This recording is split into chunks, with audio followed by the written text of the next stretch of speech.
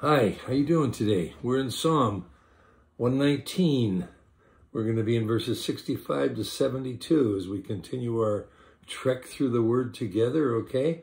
Uh, I was just thinking, before I even start reading the verses and talking about them, I was just thinking, as I'd been pondering these a few minutes before I started the study here, was that everything in life, everything worthwhile in life costs something whether it's stuff, time, commitment. I mean, it's going to cost something, whether it's going to cost some money or some time or some commitment or service or payment by some other some other way. And the same is true with Christian growth. Same is true with Christian maturity. Same is true with with with godliness. We're very quick to say at times, you know, that we we want to grow as believers.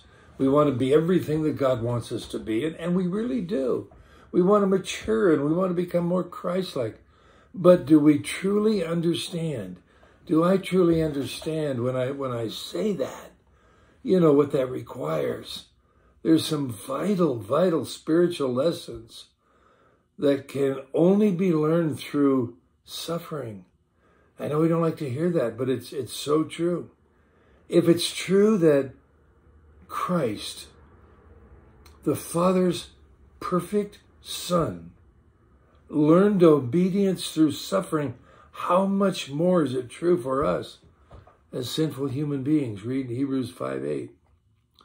Well, the author of Psalm 119 was passing through a very painful furnace, a raging fire of affliction was what was around him when God's Spirit in, inspired him to write this marvelous song. Remember, the, the Psalms are songs, man. And because of this psalmist's faithfulness to God's word, and he was suffering fierce, horrendous persecution from his neighbors, as well as from the officials of the land in which he lived. You pick that up in the various verses. In this division of Psalm 119, he declared gratitude. Can you, can you hear that? He declared gratitude for suffering, for his suffering.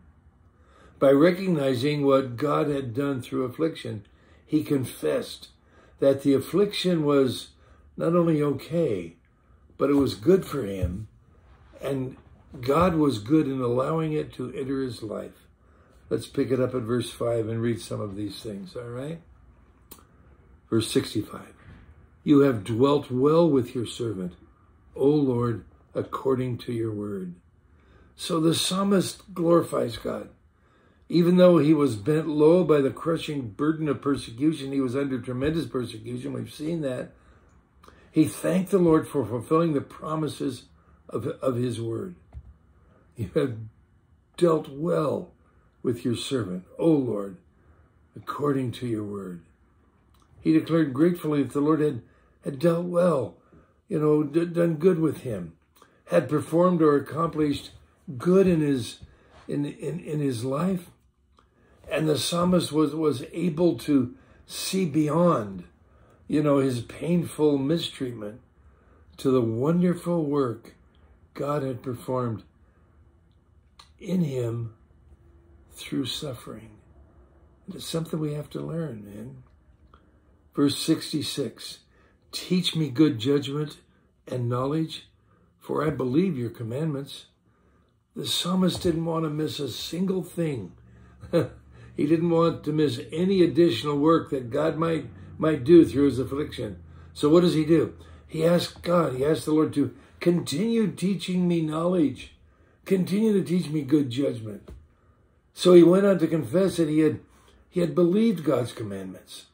That is, he had trusted and followed what God had taught him in, in his word. And in making this statement, he implied that he would continue to follow all that the Lord would teach him. Let's listen to it again, verse 66. Teach me good judgment and knowledge. For what? I believe your commandments. Verse 67. Before I was afflicted, I went astray, but now I keep your word. the fires of, of persecution, you know, had, had purified um, just the soul of this godly man. Through his affliction, God had done a marvelous work in his life. God had used the psalmist's suffering to cleanse him of any remaining sin in his heart. Earlier in Psalm 119, the psalmist dealt, the psalmist dealt with his tendency toward covetousness. He confessed his affection for things of no eternal value and asked God, was it, remember the question? He asked God this, he said, ignite in me new life. Please, ignite in me new life. He wanted his life in his spirit, verses 35 through 38. Now notice something very critical here, very crucial in the process of the psalmist going through some times of purification. God did not cause his servant to be persecuted. He did not bring about the psalmist's mistreatment as a means of discipline for his sinful heart. However, he used the affliction to produce holiness in this child of his who was tormented by all that was going on in, in, in his life. And what God did is he worked through the suffering to accomplish his, his divine purpose for his child. And so what did God do? He brought good from the evil that men had intended against his child. Think about this. Verse 65 You have dealt well with your servant, O Lord. What a wonderful and a powerful statement. Just going to go back to that verse for a minute. Um, the psalmist didn't say, Lord, you've been unfair to me. Or, Lord, you have dealt so harshly with me. Or, Lord, why are you doing this to me? To the contrary, he recognized the good things God had done for him through his suffering by focusing on God's faithfulness to his word. And what happened through that was this dedicated, the psalmist, this disciple, and he was able to say that the worst ordeal of his life had been good for him. Look at verse 71. It is good for me that I have been afflicted, that I may learn your statutes. When we are entangled in a painful trial, and they happen. Or we're the target of persecution because of the world we live in. We need to be aware of what God wants. What he wants is to work in our lives through what's going on. We should open up our hearts to God, submitting ourselves to whatever he wants to do in our lives when we're able to recognize God's gracious hand at work. And when we can recognize that, we'll be able to rejoice in our trials. And I'm just not blowing wind here. I, I, I'm not just speaking, you know, off off the cuff, hoping this will work. I've been in those trials, and I'm going through one right now that's really, really tough. I mentioned some things about it yesterday with my family and some diseases my daughters are going through, and you know, the, and and um, they've they've got the COVID disease, and and they're trouble breathing, and and getting over it and you know it's it's a rough time. But when we step back and say okay god you're gracious and you're always gracious. You're always merciful you only do gracious and merciful things so when i realize that when whatever's going on in my life and the life of those that i love and and uh, pray for them I, I, I, I pray with an understanding that we can rejoice in our trials. I don't rejoice in my daughter's pains or the, the inability to, to breathe properly right now and, and all of that, of course, and I'm praying for God to, to set them free. But what God wants to show us is that we will emerge from the furnace of affliction, and my girls will too more godly than when we went into that affliction. And he promises that. James 1, 2 to 4, Romans 5, 3 to 5. Read that for yourself later. That's what God promises. Look at verse 68. You are good and do good. Teach me your statutes. Verse 67 Before I was afflicted, I went astray, but now I keep your word. Then you are good and do good. Teach me your statutes. So we have the, the psalmist here confess his faith in the holy character of the Lord, even though he was suffering intense persecution. He reemphasized the fact that God is good and that everything he does is good. Notice again, he doesn't blame God. He doesn't question God. He doesn't doubt God. Experiencing God's goodness through his affliction actually, for the psalmist, reinforced the fact that God has a purpose for everything he permits to enter our lives. Every affliction, every challenge, and every trial, even persecution, is an, is an opportunity for God to reveal his goodness to us. We don't always see that. We want to get out of this hurt. We want to get out of this pain.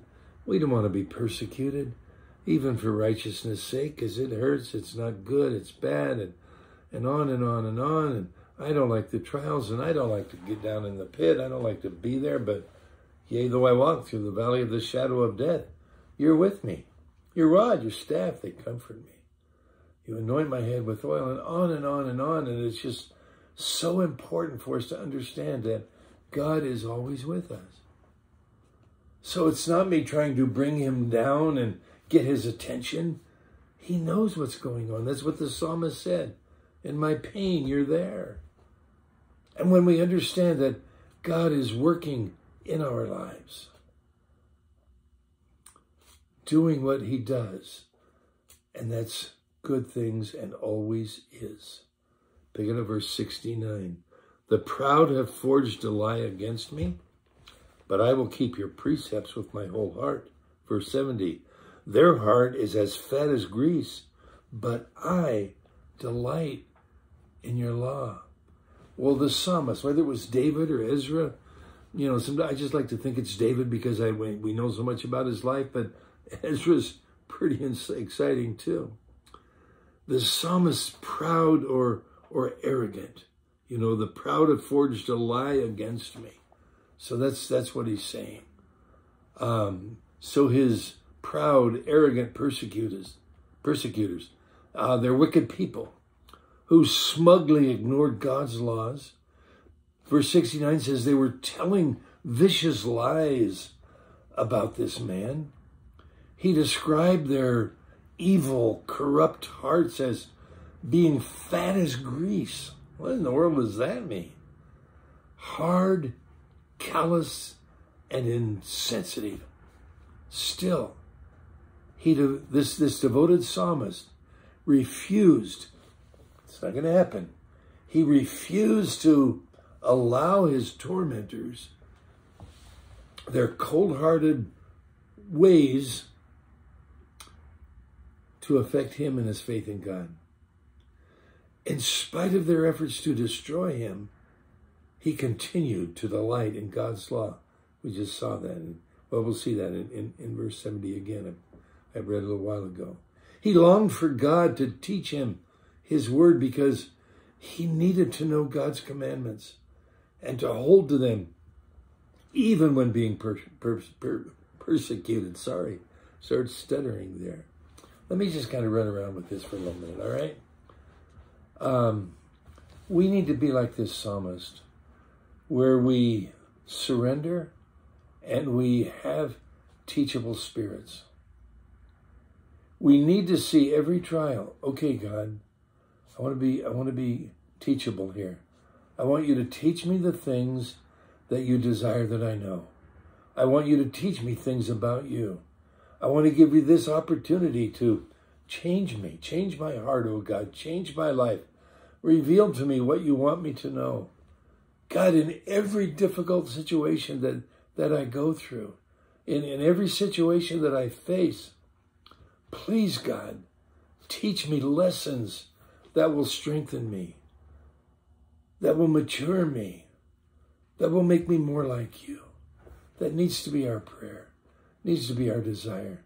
When that thing hits us, instead of us just backing up and saying, Oh God, I almost went over in the chair.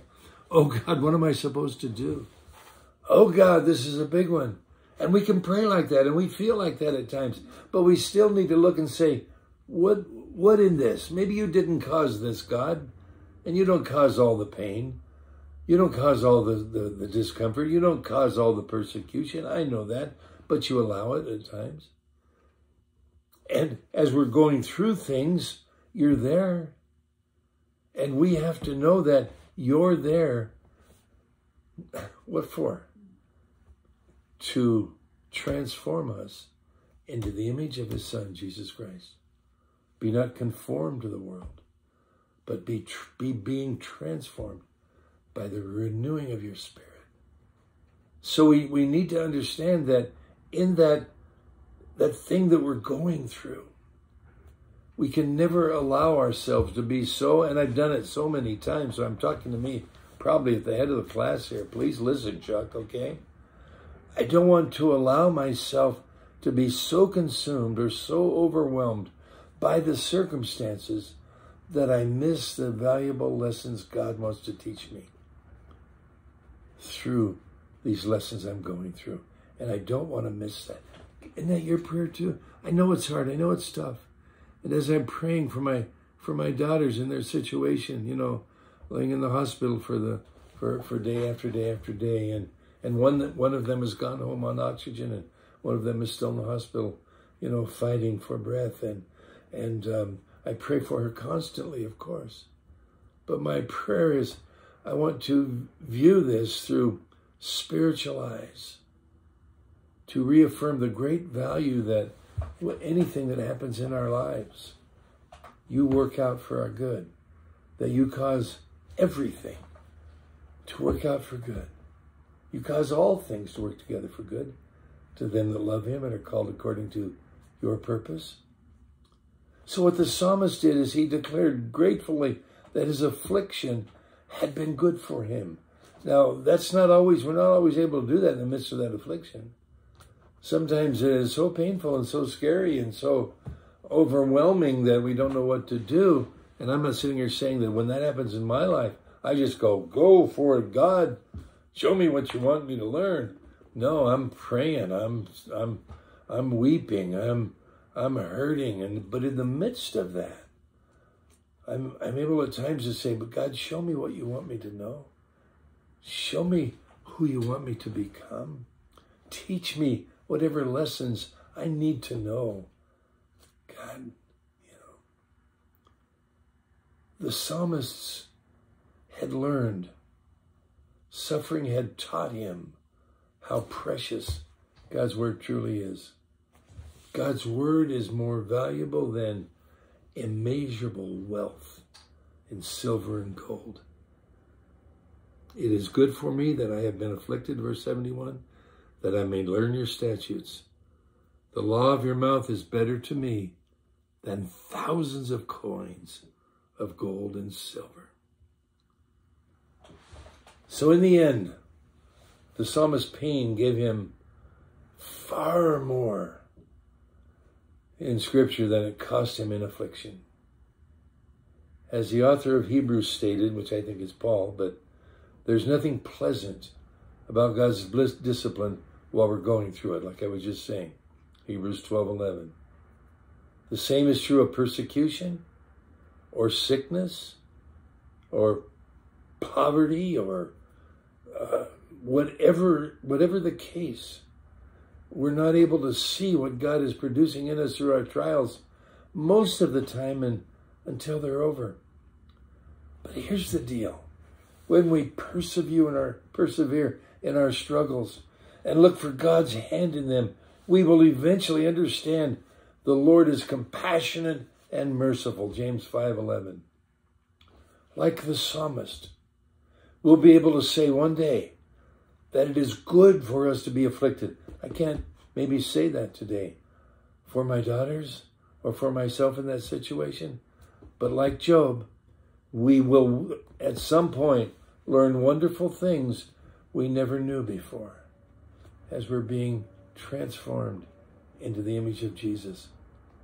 Even more precious, we all have come to know God in a greater and a deeper, deeper way. That's that's our goal. That's our desire. That's our hope, isn't it, for, for each of us? I hope you're able to see that as we're going through this, and I'm I'm not trying to minimize what anybody's going through. I know the pain is deep. I know the hurts are real. I, I know when a loved one is suffering, or when you're suffering, or when there's you're going through grief because there's been a loss of of somebody, or you've gotten on the phone that the, what this particular you know disease is is is doing in your body, and, and on and on and on. I'm not minimizing that, but I'm saying that at some point, as we persevere, and we persevere sometimes on our knees more than we do on our feet. There are sometimes when it just in, in you know I just feel like turning off all the lights in my house and just sitting in my chair and just meditating on the Lord and praising Him and worshiping Him and thanking Him and beseeching Him for the things that are going on. And I do that. And I don't say, this is so joyful and I'm so glad that my, my kids are going through. I'm so glad I'm in pain. I'm so glad. I don't do that. I say, God, I'm going through this valley, but I, th I thank you that you're with me. And I, I know that I can trust your word. I can trust your precepts and your, your promises because you're God. I guess I just want to see a glimpse, tell us that, that as we persevere, we will see change in our lives. There's maybe you're a little more tolerant now than you were before that started. Maybe you're a little more compassionate towards somebody else than you were before you went through this thing. Maybe you're a little more faithful to the things of God now that you're on the other side. I don't know. All I know is what God's word says. And there'll be a time when we're rejoicing. And I know that the preparation we go through here is not just for for this this life, but there's a better one coming on. There's going to be a day when we as believers will be caught up together with those who have gone before us. And so shall we ever be with the Lord.